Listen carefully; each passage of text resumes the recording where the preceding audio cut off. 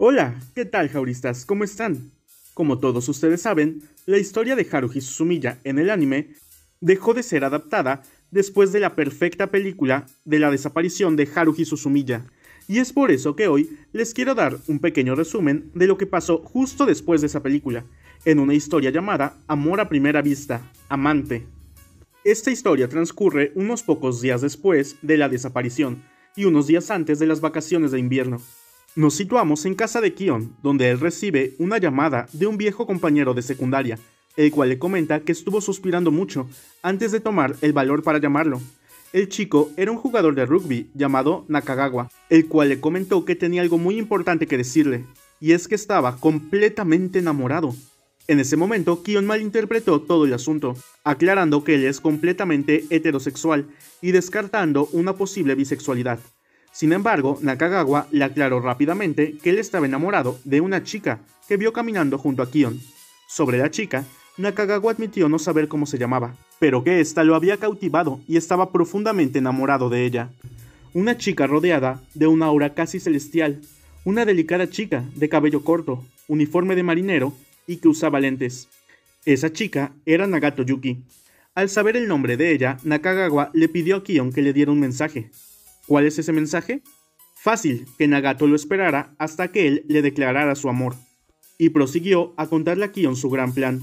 Él quería estudiar economía, para después trabajar en una empresa mediana por unos dos años, y después, finalmente, fundar su propia empresa, la cual, en otros dos años, crecería mucho, y después de unas vacaciones, finalmente sería digno de declarársele a Nagato.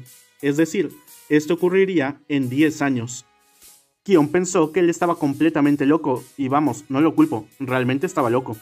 Al día siguiente, Kion se reunió a solas con Nagato en el salón del club para darle el mensaje. Sin embargo, se sentía muy estúpido, leyendo todo en voz alta, tal y como Nakagawa se lo había pedido. Él la llamaba grandiosa, y hablaba incluso de cuándo comprarían su casa en unos pequeños suburbios. Antes de terminar, se cansó y tiró el mensaje por la ventana, en cuanto Nagato le dijo que ella no lo podía esperar por tanto tiempo. Sin embargo, Kyo no contempló que una chica estaba llegando justamente abajo de la ventana. El papel cayó enfrente de Haruhi Suzumiya. Ella lo recogió y comenzó a leerlo, dejando ver una sonrisa maléfica, y sin tardar nada, subió al salón del club. La líder de la brigada SOS parecía creer que Kion se le había declarado a Nagato, y empezaron a pelear. Ella era bastante agresiva. En ese momento entró Asahina-san, viéndose muy confundida, y detrás de ella Koizumi. Haruhi quería la renuncia inmediata de Kion y darle más de 13 castigos distintos por esta falta, pero Kion les comenzó a explicar todo, logrando que Haruhi lo soltara. Después de que todos leyeron la carta, Haruhi llamaba idiota Nakagawa, mientras que Asahina-san pensaba que esperar 10 años por una persona era algo muy romántico y que se sentiría muy halagada si alguien hiciera eso por ella. Mientras tanto Koizumi lo describía como alguien apasionado, pero muy exagerado, en ese momento Nagato pidió ver la carta física y comenzó a leer todo, deteniéndose en algunas partes que parecía no comprender del todo. Ella volvió a decir que no podía esperarlo, pero que sí lo quería conocer, ya que sentía curiosidad por él. Esto sorprendió mucho a Kion. Y es que vamos, si logras que Nagato sienta curiosidad por algo, significa que algo estás haciendo bien, o que algo tienes muy raro. En la noche Nakagawa volvió a llamar a casa de Kion, para saber qué novedades había. Él le contó lo que Nagato había dicho, sobre no poder esperarlo, pero querer verlo. Al oír eso, él le pidió que la llevara el día siguiente a su escuela privada, ya que ellos jugarían un partido de fútbol americano. Evidentemente, Kyo no iría solo, por lo que programó un viaje con toda la brigada SOS a ver el partido. Al día siguiente, ellos viajaron por cerca de media hora para llegar a la escuela privada. Por cierto, Haruhi comentó que nunca había visto un partido de fútbol americano, y eso es obvio, ya que al parecer no conocía ninguna de las reglas, pensando que los jugadores podían atacarse con los cascos y no comprendiendo por qué cambiaban de equipos a la ofensiva. Nakagawa era un tipo grande y ágil, que usaba el uniforme blanco con el número 82. Los integrantes de la brigada SOS comenzaron a ver el juego, después bebieron un poco del té que Asahina-san había llegado, y durante el segundo tiempo comenzaron a congelarse bajo el frío invierno. Durante el tercer cuarto, pasó algo que nadie vio venir, algo sorprendente. Nakagawa sufrió un fuerte golpe, después de intentar atrapar un balón, el cual había tenido un movimiento casi imposible, por lo que tuvo que ser llevado en ambulancia.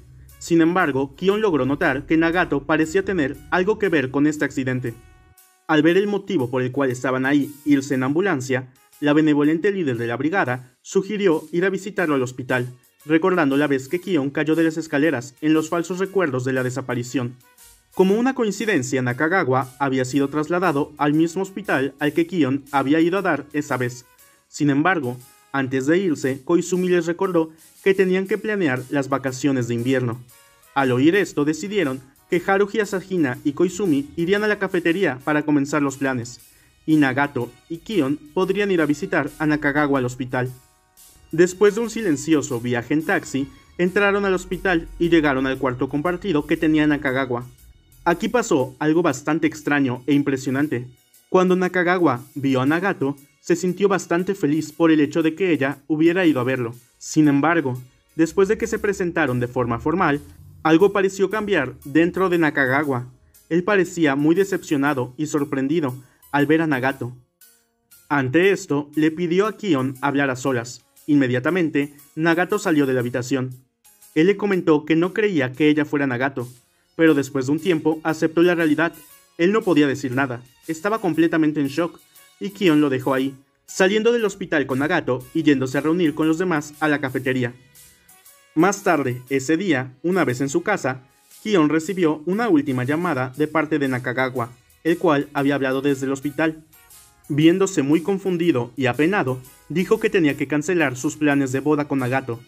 Después de que Kion le exigió una explicación, él se disculpó, pero dijo que al ver a Nagato ella ya no tenía esa aura celestial que tanto lo había enamorado, que ya no sentía nada por ella y que solo veía a una persona ordinaria. Después de hablar un poco más, ellos colgaron. Kion decidió llamar a Nagato para decirle lo que Nakagawa había dicho, y acordaron una reunión en el parque frente a la estación, donde en el pasado ellos ya se han reunido en algunas ocasiones, y donde Kion ha tenido bastantes aventuras en los días de Tanabata. Kion platicó con Nagato, pero le dijo que ella le tenía que decir la verdad. Nagato confirmó que ella había causado el accidente, ya que Nakagawa tenía la habilidad de interactuar con la entidad de pensamientos para la integración de datos a través de ella. Nagato le explicó que los seres humanos no tenían la capacidad para comprender a la entidad de pensamientos para la integración de datos, y es por eso que Nakagawa veía esa aura celestial, lo cual causó un falso enamoramiento. Lo que hizo Nagato fue quitarle dicha habilidad, que por cierto comentó, fue otorgada por Haruhi hace tres años, en aquel misterioso evento. La conversación parecía haber terminado ahí. Sin embargo, cuando Nagato ya había dado la espalda a Kion y caminaba de vuelta a casa, él la llamó. Tenía una última pregunta que hacerle.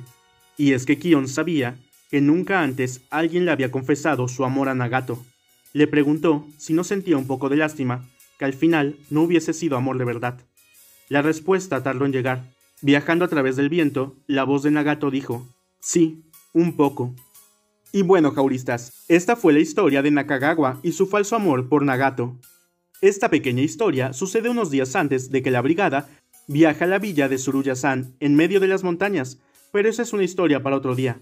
Por cierto, esta historia es perteneciente al sexto volumen de las novelas.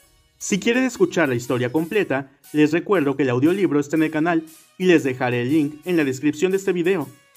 Si les gustó el video, por favor, no olviden dejar su like, comentar y compartir. Díganme en la caja de comentarios qué opinan sobre esta aventura, qué les pareció Nakagawa como personaje. En lo personal, siento un poco de lástima por Nagato, ya que ella parecía tener una verdadera curiosidad por alguien que estaba enamorado de ella, pero al final resultó ser toda una confusión. Díganme si les gustaría que resumiera las siguientes historias de la Brigada SOS. Nos vemos en la próxima, jauristas.